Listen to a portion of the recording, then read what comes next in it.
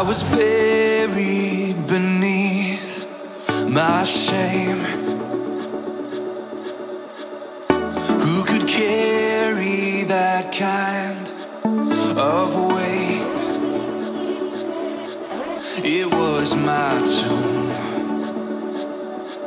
till I made.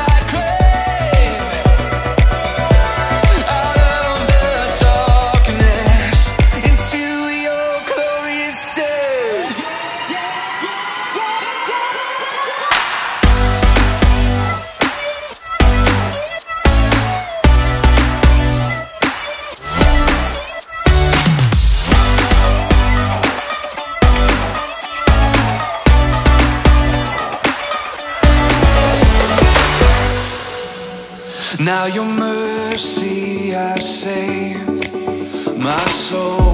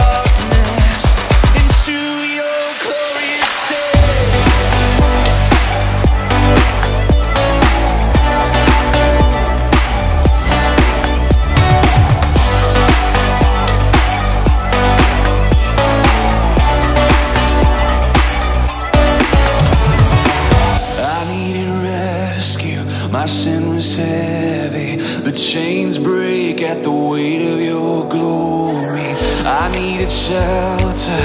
I was an orphan. Now you call me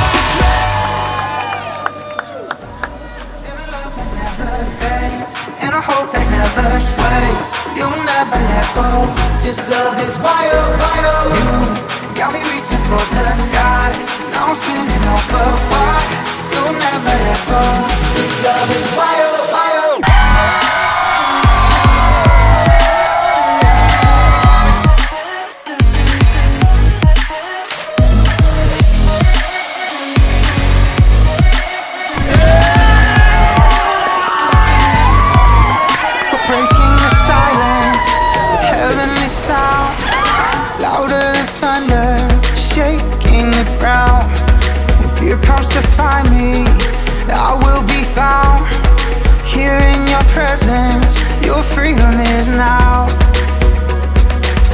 I'm lost to the world, and you forever.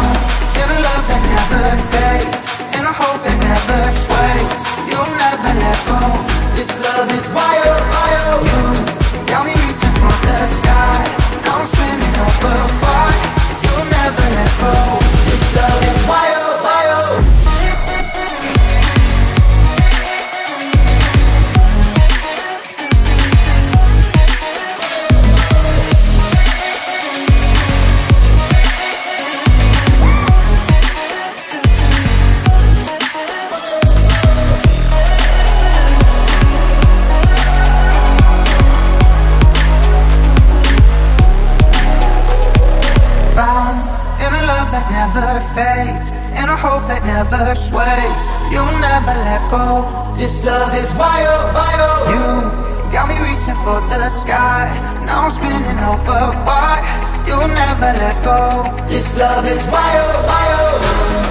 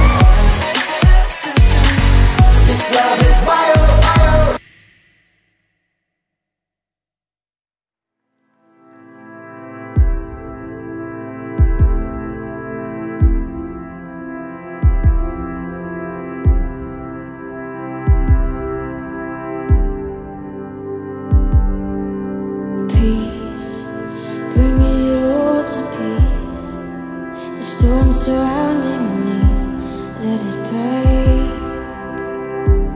At your name, still, call the sea to still, the rage in me to still, every wave. At your name, Jesus, Jesus. You make the darkness tremble,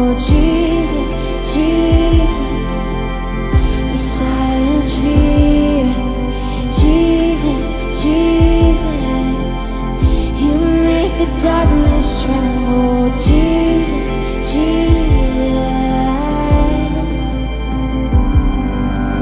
Breathe, call these bones to live. Call these lungs to sing once again. something that was special for me was just worship and like i spent the first few days just focusing on myself and building up my faith and then i was able to just open up to god and have him fill my heart and that was really cool and so then i could spend the next couple of days just looking around me and seeing god working in other people and filling up their hearts My third caravan, I went to Destin and New York, and so this will be my third. And through that and Chaos and Big House, I've been in quite a few small groups. Um, and all of them have been willing to share stuff, whether they be very small things or very like deep things. But this time, um, me as well as everybody else in my group, they were willing to share stuff that like they struggle with, and it's stuff that some people may not see as a big deal, but like they see it as something that they really struggle with, and it takes a lot for them to be able to come out and share that with us. And it uh, it really opened my eyes that like these trips and these kinds of things like they help people get through tough times and help people like share what they are dealing with. I don't even know what came over me. Like I was just like praising and praising, and I just felt like I didn't care if I stood up in front of everybody, and I didn't care if my hands went up because for the first time in my life, I felt like God was telling me it doesn't matter. Like these people are your people, and that no matter what, you can praise in front of these people, and these are you do not have to be embarrassed. And so by like every night I continued and continued to just like I felt like the Holy Spirit was like coming out of me and my hands were like I felt like in a way when I put my hands up the Holy Spirit's like coming through my hands to God and I just am praising. When I was reflecting back on the whole week just thinking about what I've seen my word that came to mind has been relationships.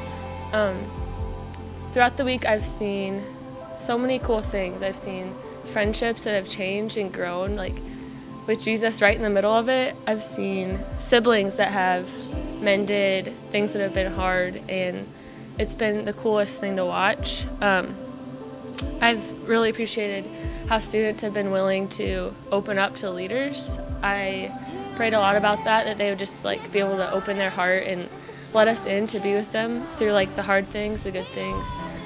I've been really praying for a specific group of people just that their hearts would be open to what we learn about in session and just the Word of God. And um, it's been really cool to see their reactions after session and to hear from their leaders that they've been getting a lot out of this week. And even though they're not like all the way there, they're on their way to a great faith in Jesus, and that's been really cool to see.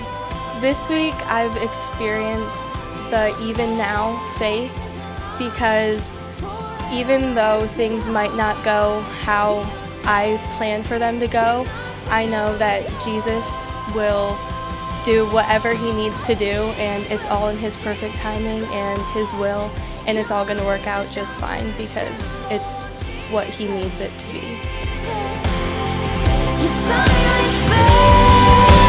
Jesus, Jesus,